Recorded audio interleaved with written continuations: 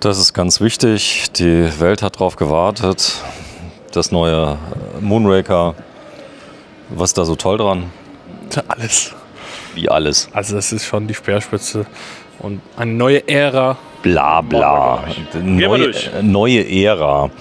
Sag mal, äh, Light MTB, das bedeutet doch, du verkaufst die Fahrräder noch teurer, weil sie noch weniger können. Weil die noch leichter sind, so sieht's aus. Ist aber äh, viele Hersteller haben ja mittlerweile Motoren im Programm, die leicht sind. Ich habe gehört, Bosch baut jetzt auch was.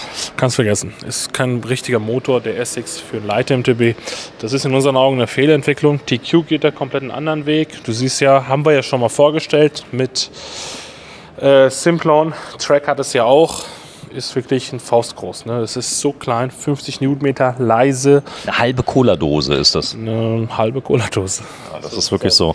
Der ist sehr leise, er ist unglaublich robust. TQ kommt ja aus dem Zuliefererbau von Teilen für die Automobilindustrie, Luftfahrt. Genau, die haben ja wirklich einen tollen Motor hier, der HRP 50. HRP 50 hat 50 Newtonmeter, wie der Name schon sagt. Leise, sehr, sehr klein und es gibt Designern einfach die Möglichkeit, designtechnisch im Fahrrad vieles anders zu machen.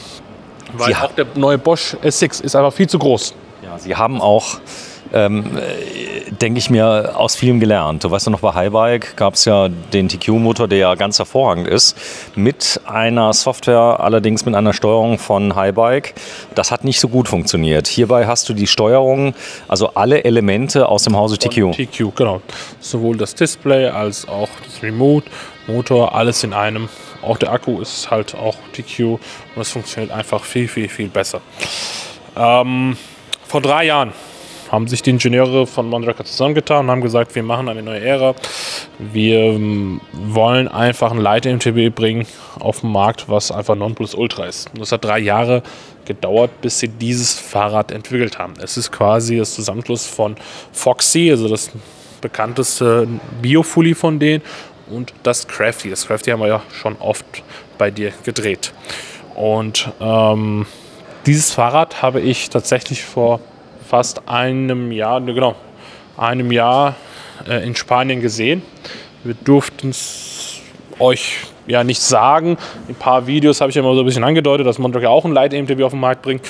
Und jetzt ist es in ganz kleinen Stückzahl lieferbar. Was ist das Besondere bei dem Rad? Also wir haben die Mondraker-typischen äh, Vorteile, die wir von anderen Rädern kennen, auch hier. Heißt, kurzer Vorbau, Vorbadgeometrie, sehr direkte Lenkwinkung. Hier sitzt richtig schön mein Rad drin. Schwer, äh, mein Schwergewicht ist richtig schön tief. Das habe ich alles. Was wir halt noch gemacht haben bei dem Zero Suspension System, das Ganze ist ein bisschen tiefer gegangen. Das führt dazu, dass mein Dämpfer noch mal effizienter wird. Siehst du ja, der ist noch mal ein Stückchen Vielleicht, vielleicht fangen wir mal ganz von vorne an. Ähm, erstmal die Optik. Wenn du jetzt das hier von der Seite siehst, ähm, optisch würdest du sagen, das ist kein E-Bike. Wirklich, also wirklich, das ist der Wahnsinn. Also ich halte mal mein iPhone dran, ne? damit die Leute sehen, wie, das, wie dünn das Oberrohr ist. Das ist wirklich sehr, sehr, sehr, sehr filigran. Ne? Das ist gerade mal so ein iPhone dick. Ne? Also es geht ja darum, ich war jetzt in, in Whistler in Kanada, haben wir große Serie gedreht, haben wir uns auch eine eigene Folge Whistler, zwei Tage, zwei Folgen sogar, kommen demnächst. Und da sind Bikeparks, die machen das Ganze ja seit 30, 40 Jahren, kommt jetzt immer mehr auch in Deutschland. Ähm, da äh, hast du viele Downhill-orientierte äh, Fahrräder. Hierbei geht es ja um das Thema Rückenwind. Das heißt also, hier kannst du zum Beispiel auch mal Berge hochfahren. Du kriegst richtig viel Druck vom Motor, wenn du es brauchst. Aber du hast eigentlich vom Fahrgefühl her wieder ein ganz normales Mountainbike. Genau, und das ist das Besondere. Du hast einfach ein super effizientes Fahrrad, was vom Fahrgefühl her Richtung Mountainbike, also Bio-Mountainbike geht. Ja, viele Leute sagen, sagen, hey, es ist ja Mountainbike. Ja, ja, Bio-Mountainbike, weil ein E-Bike ist ja schwerer. Wir sind hier bei dem Topmodell RSL unter 18 Kilo. Und das ist halt das Besondere an dem Fahrrad, wo ich dann wirklich Unterstützung habe, aber trotzdem die Performance von einem Bio-Mountainbike. Was total krass ist, ist ähm, die Kombination aus der Batterie und dem Motor. Die Reichweite ist nämlich gar nicht viel weniger als bei Bosch Performance CX mit 750 Wattstunden. Du hast hier, glaube ich, Motor verbraucht weniger. Ähm, das Besondere ist, der Motor und Akku wiegen beide gleich, 1,8 Kilo. 1,8 Kilo. Genau, der 1,8 heißt, wiegt wenn du der die rausbauen würdest, 1,8 links, jetzt, dann äh, 4 Kilo leichter fast. Und das ist komplett Carbon. Das ist ein komplett Carbon-Chassis. Der Carbonrahmen wiegt äh, genau 2 Kilo. Das ist so das Beste, was momentan auch möglich ist. Kannst du mir einen Gefallen machen? Ist einfach mal dahinter gehen und ähm, einfach mal mit einem Arm mal hochheben, weil 18 Kilo, das ist ein Kasten Bier. Das ist kein Thema. Es geht ja auch darum, du bist jetzt im Trail unterwegs ähm, und da kommt denn der berühmte Baumstamm, das kennst du, der ist umgefallen, Windböe, liegt mitten auf dem Weg. Was musst du tun? Drüber springen. Nee, äh, du holst die Kettensäge und nee, du springst drüber. Genau, du springst drüber. Nein, du springst nicht drüber. Du nimmst dein Mountainbike, schulterst das auf, weil ich rede ja von richtigen Baumstämmen. Du, du springst über Baumstämme? Wollte ich auch mal machen, aber wenn ich wieder in Form bin, ja, das hat gerade mein Bauch. Ich habe übrigens abgenommen, liebe Zuschauer. Ja, man Danke sieht's. für die Kommentare, ja, hat mich gefreut. Ich werde weiterhin daran arbeiten, dass ich 100 Kilo erreiche. Dankeschön. Du bist ja weit weg eigentlich. Ja, ich bin noch 30 Kilo weit weg. Aber Du, du warst noch schwerer. Du warst, glaube ich, 100, 160. 155, 60 hatte ich in der Spitzenzeit. Aber mit den Zeiten ist es jetzt vorbei. Ich habe mehr Zeit, seitdem Corona weg ist. Die Nachfrage sinkt bei uns, Gott sei Dank. Abends kann ich früher raus aus dem Laden und mache dann natürlich ein bisschen. Ja, wir, wir äh, gehen mal kurz durch. Äh, Fox 36, das, das ist jetzt kein, kein, 160 kein Downhill. Das hier ist eher so All Mountain oder was haben wir? Allmountain Enduro ähm, Richtung Allmountain. Also 160 mm Federweg reicht ja vollkommen aus für das, was du fahren willst. Ne? Fox 36 haben wir hier. Ne? Ähm, bist du der, der klingelt oder bin ich Das ist nicht schlimm, hört man nicht. Gut, wir ignorieren es einfach. 160 mm Federweg, hinten 150 mm Federweg. Ich war ja dran, das zu erklären. Also, das Ganze ist ja hier ein bisschen mehr nach unten verschmolzen, hat den Vorteil, ich kann hier einen Flaschenhalter dran machen, da ist ein Fitlock-Halter Ja. und hier auch ein Range Extender, wenn ich will. Ist der stark? Oder? Wie bitte? Ist der stark, der Range Extender? Äh, 160 Watt schon, also da machst du halt wieder 50% mehr Reichweite, wenn du willst. Ähm, oder du nimmst halt zwei Flaschen mit, ist jetzt möglich. Viele kennen ja in dem Fahrraddreieck passt nur entweder ein Schloss oder nur ein Flaschenhalter. Hier habe ich halt beide, weil mein Suspension-System einfach ein bisschen mehr nach unten verschwunden Also nochmal, der Range Extender sieht doch aus wie eine Flasche. Wie eine Flasche. Genau. So, und davon Also mit könntest du. Fitlock einfach hier reingeklickt, zack, und hier angeschlossen. Das kommt immer mehr, dass über die Ladebuchse jetzt die Range Extender auch adaptiert werden. Das habe ich bei Bosch jetzt gehört. Ja, TQ war, oder Shimano hat damit angefangen, dann kam Yamaha und Bosch ist einer der letzten, die damit gekommen sind. So, also Fox-Ausstattung komplett, äh, sehr leichtes Chassis. Die Batterie, die ist wahrscheinlich hier im Mittelrohr, oder? Die ist im Mittelrohr und eine Besonderheit ist, ich kann die Batterie auch rausnehmen. Jetzt Jetzt nicht, aber ich kann die Batterie ohne Probleme. kannst du sie ausbauen. Ja, die kannst du rausnehmen. Also die ist ja rausnehmbar, die ist nicht fest verbaut. Da, da unten, oder ist die Klappe? Okay. So, das heißt, du kannst da draufdrücken, kannst sie rausnehmen. Kann ich das denn trennen, wenn ich das Fahrrad zum Beispiel mitnehme im Flugzeug? Kann ich sagen, ich habe einen, ja, genau. genau, ich hab einen Händler zum Beispiel, der hat so einen Akku in Ibiza oder so. Du kannst den Akku auch in manchen Fluggesellschaften mitnehmen, weil der unter 400 Wattstunden ist. 400 Wattstunden haben ja die meisten Fluggesellschaften als Regel. Ähm, ist hier auch der Fall. Ne? Das hier sind diese neuen, die, die Spezialverschlüsse, wenn du mal den Leuten erklärst, wie das funktioniert, weil wir haben ja gerade bei solchen Fahrrädern sehr viele Ersttäter, die schon lange nicht mehr unterwegs sind, die eigentlich genau sowas gesucht haben. Was ganz leichtes, was nicht aussieht wie ein E-Bike, was sich auch nicht anfühlt wie ein E-Bike, wenn du es fährst. Und die haben gesagt, naja, die E-Bikes, diese, diese Panzer, ist mir alles viel zu schwer, 28 Kilo und so weiter. Wie, wie fühlen sich denn 10 Kilo weniger an in der Praxis? Ist das eine Welt? Das ist schon eine Welt. Ja. Ja. Das ist wirklich, vor allem der Motor, der ist viel, viel, viel harmonischer. Die Unterstützung, das rüttelt ja nicht auf einmal wie so bei der Bosch CX oder so. Es ist ja immer da, wie du es brauchst und du kannst einfach viel mehr technisch anspruchsvolle Trails damit bewältigen, wie jetzt ein normales E-Bike. So, zeig mal bitte, wie geht der an? Du drückst einfach drauf. Ich kann ja nicht, aber zum Glück habe ich ja dich. So, was sieht man jetzt? Die Balken? Das Ah, zeigt einmal, wie viel Batterie du hast. Da ist jetzt 99% geladen ähm, und du kannst dann hier plus minus, ne, das ist ja auch ich zeig mal gerade. Da oben. Genau. Das ist hier Eco Trail. Das ist drahtlos. Das ist drahtlos, genau. Mhm. Ähm, genau, drei Stufen hast du und anhand der Ringe hier siehst du, in welche Stufe du bist. Jetzt sind drei Ringe oder bist du in der höchsten Stufe? So, da oben, ich zeige es mal gerade, da oben sind drei Ringe.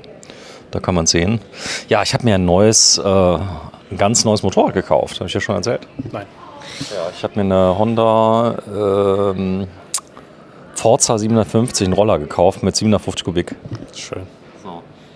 Warum erzähle ich das? Ähm, der Roller, der sieht nicht aus wie ein Roller.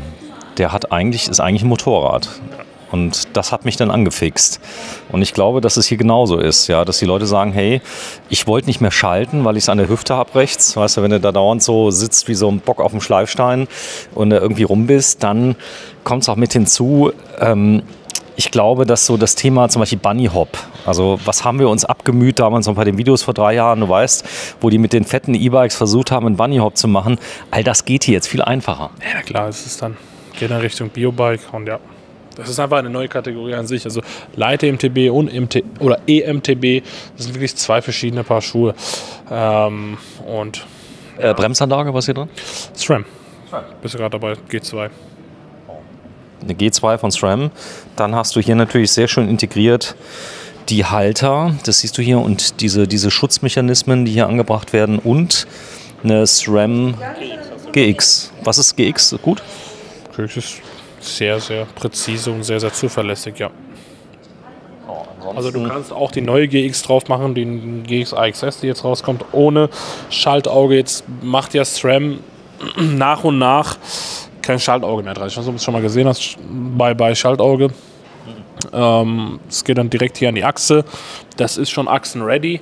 Sprich, wenn ihr da in Zukunft das Ding abfährt und die Schaltwerke, die jetzt in Zukunft kommen, kann man auch hier direkt an der Achse machen. Da braucht ihr kein Schaltauge mehr. Das ist immer so ein Problem. Schaltauge ist immer ein bisschen verbogen. Das ist Geschichte. Schön. Das Ganze Hier auch machbar dann. ist auch bei SRAM so, du kannst alles tauschen untereinander, du kannst sogar die drahtlose Schaltung nachrüsten. Das würde gehen. Das ist alles kein Problem. Alles untereinander ist kompatibel bei SRAM. 12-fach Igel. 12 Gänge habe ich, 5, 52 Zähne, also 520% Übersetzung auch. Ähm, die sind auch alle E-Bike ready, also heißt. Nee, Quatsch, ich nehme es zurück. Bei denen kannst du wieder drei Gänge auf einmal schalten. Weißt du warum? Der hat weniger Drehmoment. Ja, genau. Das heißt, bei 50 Newtonmeter kannst du drei Gänge auf einmal schalten. Da bist du wieder im Bereich ganz normaler Fahrräder. Normale Mountainbikes, genau. Und äh, bei den EMTBs hast du ja den E-Shifter, da kannst du nur Eingang schalten, damit du die Kette, Kassette schonst. Ja, schönes Fahrrad. Äh, für viele, die äh, Moonraker nicht kennen, äh, haben wir ja viele Kommentare drunter geschrieben, heißt ja gar nicht Moonraker. Ich sage immer Moundraker, du sagst Moonraker, ist jedem. Du hast mir gesagt am Anfang, ich soll Moonraker sagen, das klingt cooler, weil du auch so James Bond-Fan bist und so. Kannst du auch sagen.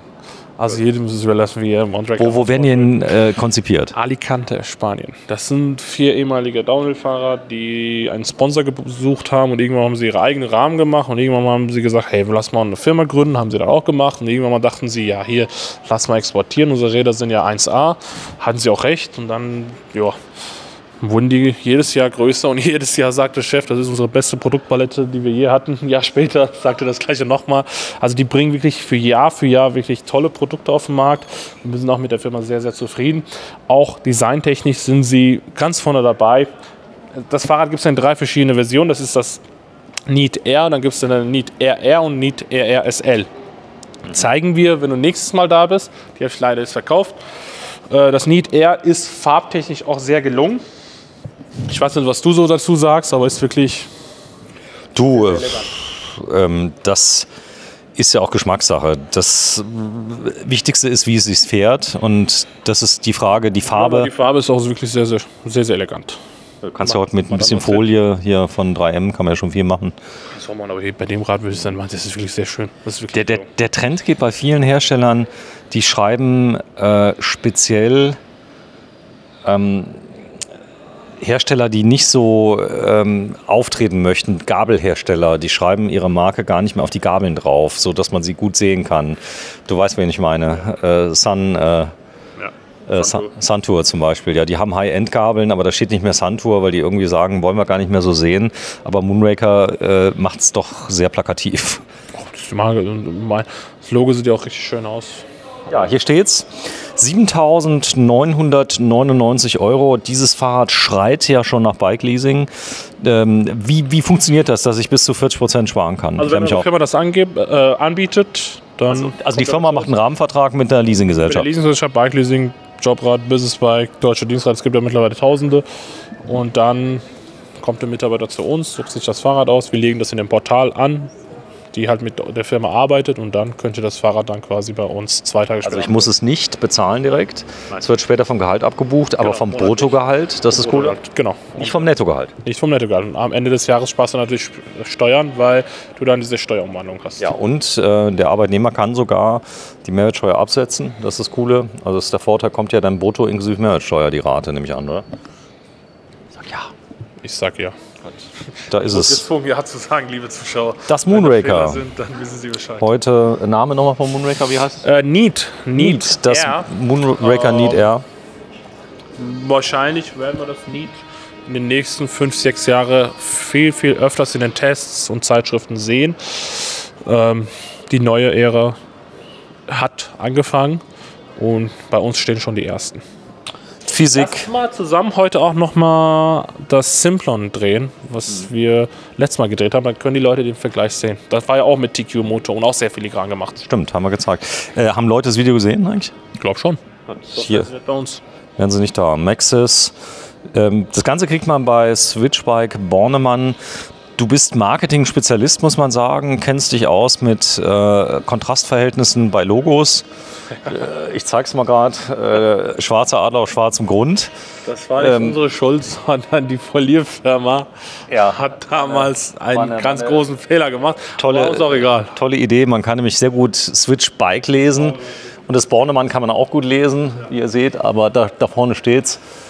Äh, wir sind in Gießen und äh, aber ihr habt es nie geändert. Der, der, ihr habt den Fehler so gelassen, wie es ist. Die haben sie geklebt. Erst dann haben wir ja gesagt, wir haben euch eigentlich ein weißes Logo geschickt. Ähm, aber ja, nächstes Jahr oder so, wenn ich die Scheiben neu foliere, mache ich das. Aber Fahrräder könnt ihr ja verkaufen, deswegen ist nicht so schlimm. Und das Ganze ist in Gießen heute Jetzt so am. bekannt mittlerweile. Wir brauchen gar nicht unsere Namen auf Genau, ihr, ihr, könnt, weiß hinzuschreiben. ihr, könnt Nee, den Laden, ihr könnt den Laden vergraben, 20 Meter unter die Erde. Leute würden Leute aber finden. trotzdem finden, genau. Übrigens Donnerstags Ruhetag, das ist ganz witzig. Wir drehen nämlich heute am Donnerstag. Hier stoßen sich schon die, die Leute immer an die Nase. Aber es ist so, einmal am Tag muss man ja. Samstags, wie ist da geöffnet? Bis 16 Uhr.